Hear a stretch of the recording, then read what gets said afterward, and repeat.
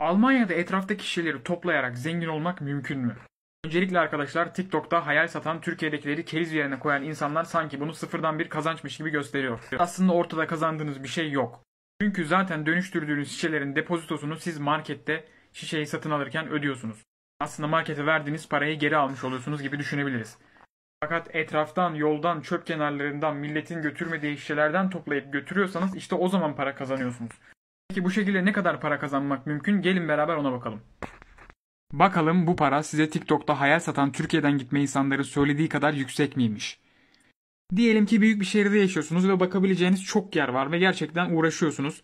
Günde 50 tane şişe topladığınızı varsayıyorum. Depozitosu en pahalı olan şişeler 25 cent. Cam şişeler falan 8 cent neredeyse yani. Plastik şişe topladığınızı varsayıyorum.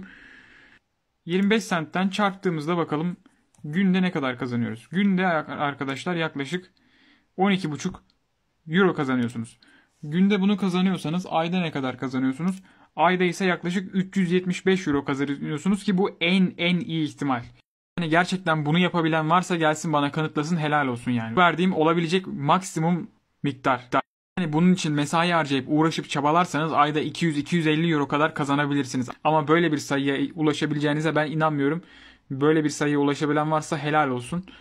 Çünkü para hiçbir şekilde bu kadar kolay kazanılmıyor.